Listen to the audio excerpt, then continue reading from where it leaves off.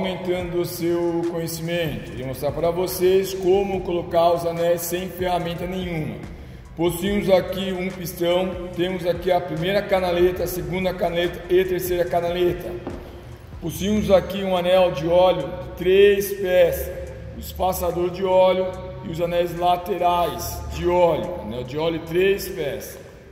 O anel raspador, que vai raspar o excesso de óleo, que é um anel super duro, então é o anel mais duro aqui. E o nosso anel mais maleável aqui, superior, vira canaleta, que é o anel de compressão. Então vamos lá. Pegaremos esse aqui, que é o nosso espaçador de óleo, na reta do pino de pistão, ó, colocamos ele. Porém, a gente tem que tomar cuidado para não rejuntar ele, ó, não pode remontar ele, pontinha na pontinha, beleza? Então vou colocar aqui. Esse anel super fácil, ó, tranquilo, só dá a volta aqui, ó, e não pode rejuntar as pontas. Então, ó, suave, na reta do pino do pistão. Esse anel lateral de óleo aqui, que também é super maleável, mais ou menos 45 graus, 20 milímetros desse lado aqui, do pino para cá. Então vamos colocar aqui, ó, embaixo primeiramente, ó. ó. colocamos aqui legal. Se você acha que você pode rejuntar, então você pode começar daqui para cá, ó. Vamos colocar aqui, ó, medinho de rejuntar, ó. Ele é um anel maleável, então é só colocar ele tranquilo, não tem como errar esse anel, super maleável. Coloquei desse lado. Se essa abertura está desse lado, 45 graus, 20 milímetros, a outra vai desse lado aqui, ó.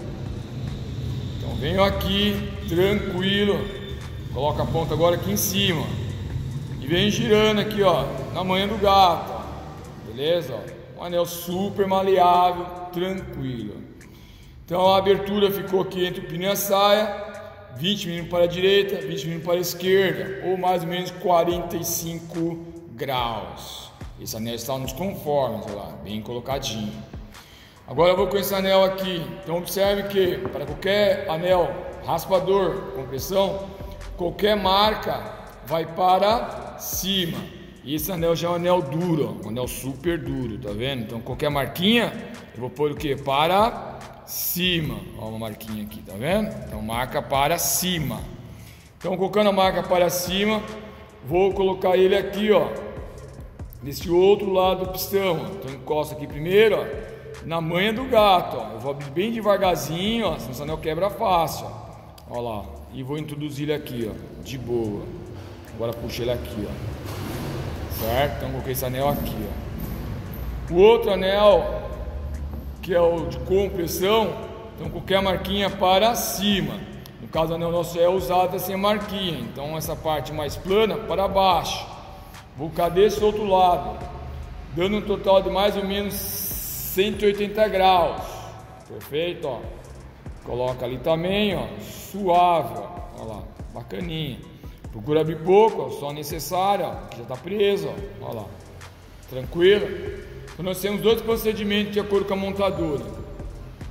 Algumas montadoras mandam colocar o anel de compressão com essa abertura e o anel raspador 180 graus, ó, as duas aberturas, uma oposta à outra, 180 graus. Alguns fabricantes mandam colocar um total de 120 graus. Então uma abertura está aqui de um anel, eu levo outro para lá e outro para cá, dando os três anéis 120 graus. Então fica a critério de vocês. Ou coloca as aberturas 180 graus do anel de compressão e raspador, ou entra anel de óleo, raspador e compressão 120 graus. 120 graus ou 180 graus. Dos dois jeitos está nos conformes. E com o motor em funcionamento, os anéis vão se movimentando lentamente para fazer o assentamento e refrigeração. Qualquer dúvida, deixe comentar no canal, compartilhe esse vídeo. Se não for inscrito, se inscreva, deixa aquele like para dar aquela força e obrigado, amigo. Posição dos anéis, como colocar.